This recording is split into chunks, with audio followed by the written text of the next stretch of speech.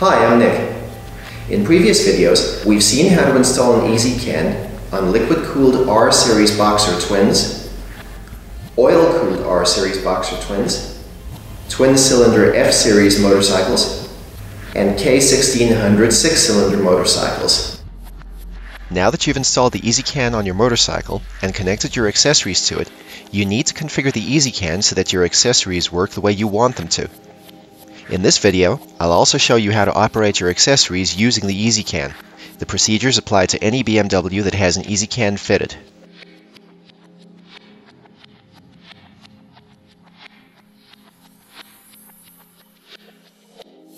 To configure your ezCAN, download the configuration tool by going to hexezcan.com.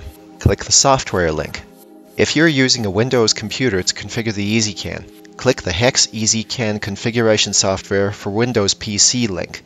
If you're using a Mac to configure the ezCAN, click the Hex ezCAN configuration software for Mac link. You will see the software download dialog. Save the installation file to your computer. Install the software by double-clicking the installation file icon. Follow all the software prompts until the installation is complete.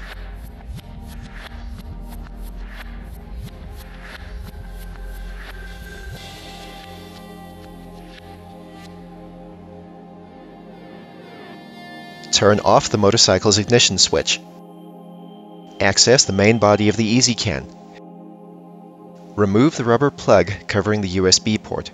Put the plug in a safe place. The ezCAN installation kit includes a USB-A to micro USB cable. Insert the USB-A end into a vacant USB port on your computer. Insert the micro USB end into the ezCAN. Turn on the motorcycle's ignition switch. Launch the ezCAN software on your computer. You will see the Hex ezCAN configuration tool. If the disconnection error message appears, make sure the USB cable is securely seated in both the computer and ezCAN USB ports.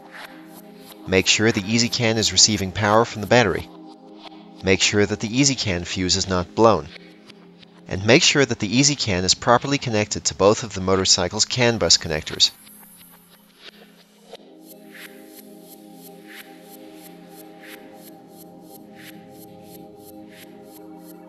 The third step in setting up the ezCAN is to make sure the ezCAN sends power to the right accessories under the right conditions and at the right times. This is called channel configuration. Open the channel configuration dialog on the Hex ezCAN configuration tool. When you install the ezCAN and accessories on your motorcycle, you will have done it according to one of the available configuration options. If the ezCAN is fitted to a liquid-cooled R1200 or to a K1600, you will see four different configuration options. If the ezCAN is fitted to an oil-cooled R1200 or to an F800, you will see three different configuration options. Click the correct configuration option now. Click the OK button.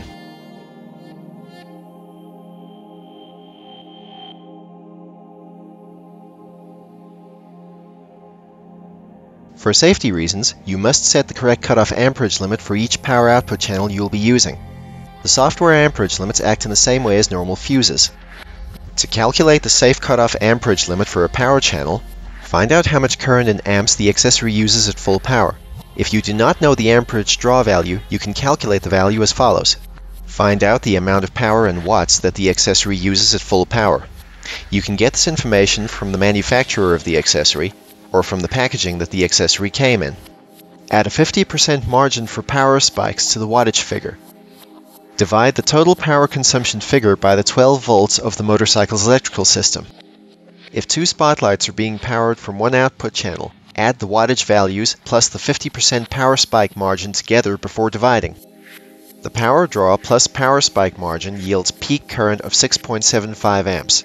Rounded to the nearest whole upper number, the peak current is 7 amps. Click the fuse link. The amperage options for that channel will be shown. Click the option for the correct amperage cutoff limit. Be careful not to set the cutoff limit at a level that is too high.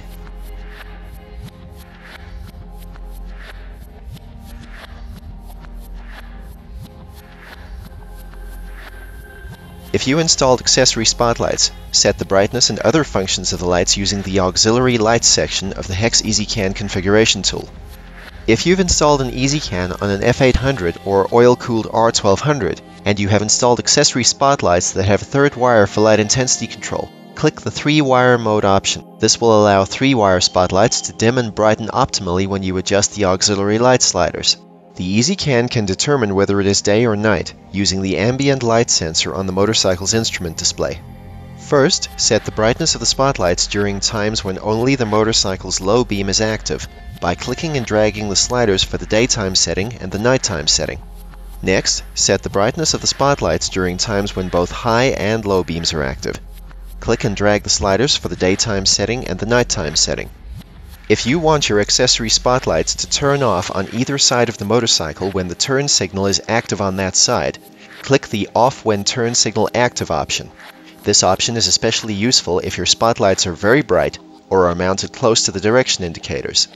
If 3-wire mode is active and the off when turn signal active option is enabled, all accessory spotlights will be turned off if either turn signal is active, regardless of the chosen channel configuration.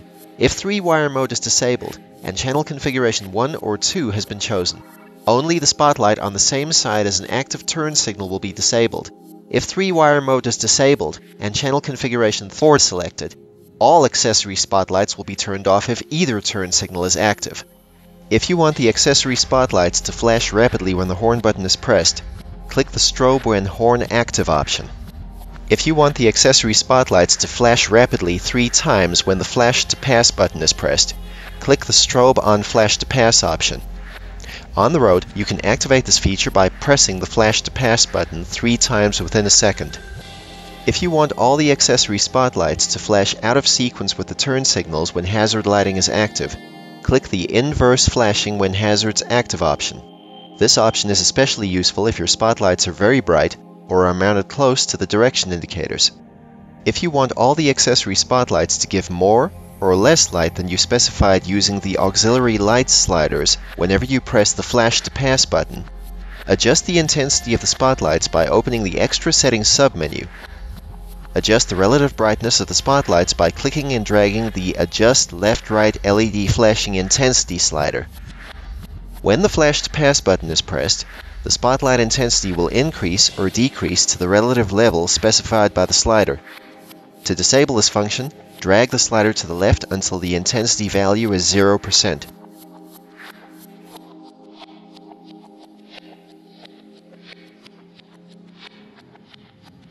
If your BMW is equipped with a BMW Motorrad multi-controller, you can adjust the brightness of your accessory spotlights while riding. To adjust the brightness of your spotlights while on the move, hold the multi-controller to the left for more than 3 seconds to activate the brightness adjustment function. Then, rotate the multi-controller upward to increase brightness, or rotate the multi-controller downward to decrease brightness. When the lights are at the needed brightness, release the multi-controller. When the brightness adjustment is complete, hold the multi-controller to the right for more than 3 seconds.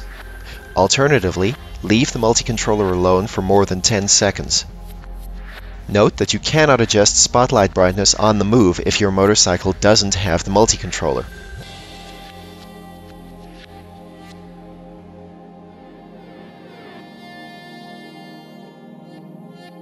If you've installed one or more rear lights that will be used as auxiliary lights or brake lights, set the functions of the lights using the rear or brake lights section of the Hex ezCAN configuration tool. Set the brightness of the auxiliary rear light by clicking and dragging the sliders. Note that for safety reasons, these controls do not affect the function of the standard rear light. The upper slider controls the intensity of the auxiliary rear light when it functions as a parking light or quarter light. If this slider is set at greater than 0%, the auxiliary rear light will be active whenever the ignition switch is on. The lower slider controls the intensity of the auxiliary rear light when it functions as a brake light. If this slider is set at greater than 0%, the auxiliary rear light will be active whenever you use the brakes. If you want the light to act only as a rear brake light, set the rear light slider to 0%. Note that if the rear light intensity value is the same as the brake light intensity value, the brake light function is disabled.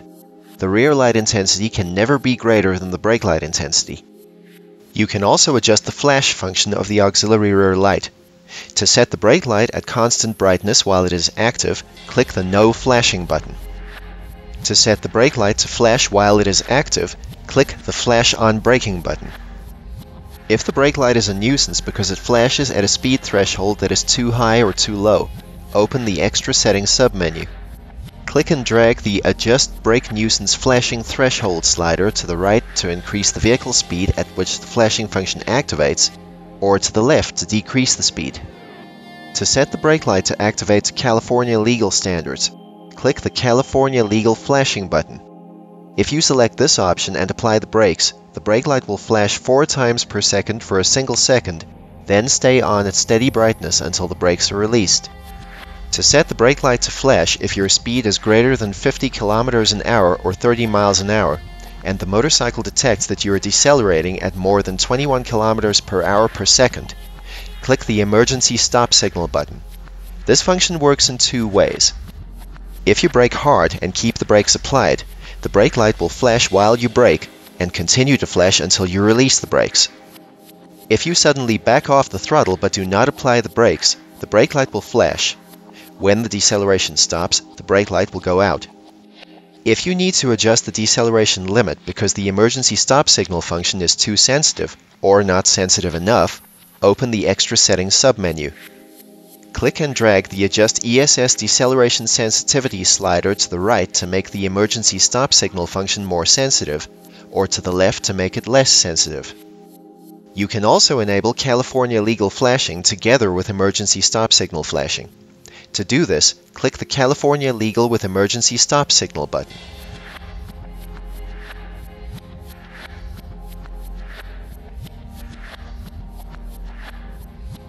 To deactivate all accessory lights on a liquid-cooled R1200 or K1600, press and hold the turn signal cancel button for 3 seconds. To deactivate all accessory lights on an oil-cooled R1200 or F800, press and hold the trip or info button for 3 seconds. To reactivate the accessory lights, press and hold the button a second time, again for 3 seconds. Activating and deactivating the auxiliary lights in this way does not affect the operation of the standard lights, the horn, or ignition switched accessory power.